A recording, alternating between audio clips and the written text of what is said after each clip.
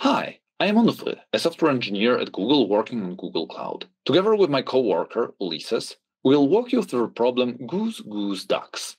Hi everyone, my name is Ulises. I'm a software engineer working on YouTube. I enjoy being part of coding competitions, in the past as a competitor, and now as a contributor. That's cool. I've also been involved in CodeJam for something like 13 years now, first as a competitor, then as an organizer, and now mostly as a problem author, in particular of this specific problem.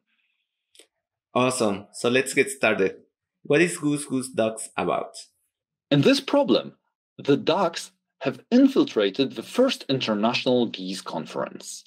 So we have a group of participants the geese wandering about, and a number of pieces of evidence that we should use to identify the conspirators, the ducks among them. Cool. What type of evidence do we have? We have two types of evidence. First, we know the time and place of every conspirator meeting, and we know that all the conspirators were present at every single meeting. Okay, all the bad dogs meet here at time 5. That's simple. Second, we have pieces of evidence provided by participants. A participant of a conference can tell us that together with another participant, they were present at a specific time and place. Are all these pieces of evidence true? How did Goose 1 get from one corner to another so quickly? I thought each beer covers only one meter of distance in one second. Well, the good geese never lie, but the evil ducks can. However, we know that a duck will never contradict an earlier piece of testimony given by a goose. So, in this case, someone lied about where Goose 1 was. Can we figure it out who it was? Well, if Goose 2 is really a good goose, then Goose 3 lied and contradicted it. But you just said that can happen. So we know Goose 2 is actually an evil duck. Yes, exactly.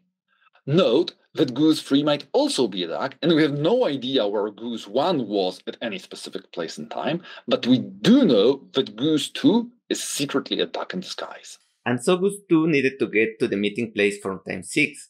So Goose 2 couldn't have been where Goose 1 claims it saw it at time 5, right? So Goose 1 is also a duck. Right. But what about Goose 3? We don't know. It could have told the truth about Goose 1. Goose 3 could be a good goose or an evil dog. What should I do? Well, the problem asks you to return the smallest possible non-empty set of ducks. So in this case, that's two. Awesome. I look forward to seeing how the finalists solve the problem. Me too. Remember to try out this and all the other finals problems on the Google CodeJam site, g.co slash codejam. Thank you for watching.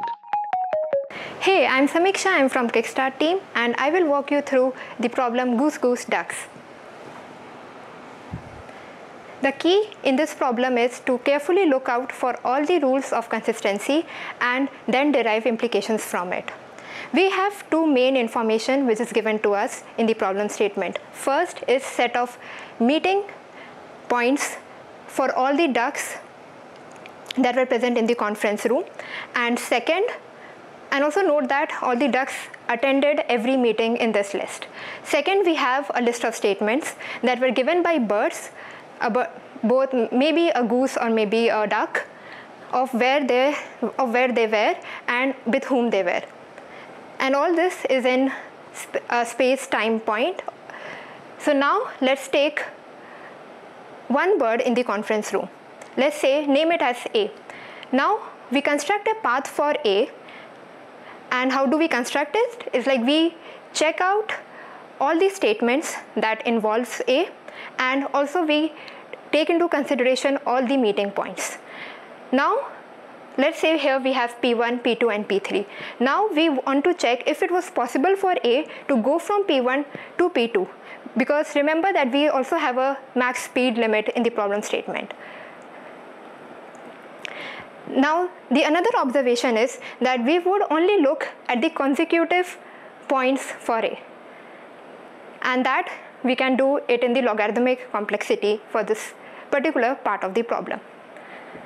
Now let's say uh, now once we com computed the uh, speed and let's say it's not under the limit then we have three cases.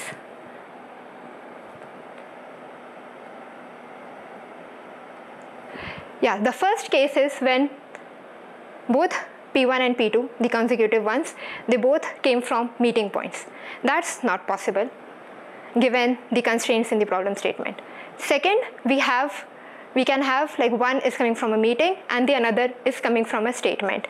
I will explain it about it later, but let's also check out what's the third case. The third case is when both of them are statements. Now, if we go back and remember the problem statement, we have certain rules. One is like goose would never lie and a duck would always try to be consistent with what the goose has said before its recording, before it has recorded a statement. So here, based on that, if we have the second case, then this implies that if A is a duck, then B is also a duck. And in the second case, sorry, and in the third case, uh, it's a case that we know for sure that it's a forced duck. One thing to uh, check out here is like how we will decide which one is the forced duck. So we will look at who claimed P the pi or pi plus 1. For that we will check the ordering of the statements of when it was recorded. Note that this is different from what we were fo uh, following till now. We were following the ordering of time of traveling in the conference room. So let's say if pi was recorded first, then the claimer of pi is a forced duck. Now once we get the forced duck, we would have to remove it and again we have to check the new adjacents. Yeah. So in case of forced ducks, we don't, we already, since the problem says to find out the minimum size set, we, we our work is done, we would output the number of forced ducks we were able to find. Otherwise, what we would do, we will model our knowledge into a graph, a graph where whose vertices are uh, birds and the edges are implications and what are these implications? Like if I say if there's an edge between A and B, then if A is a duck, then B is also a duck.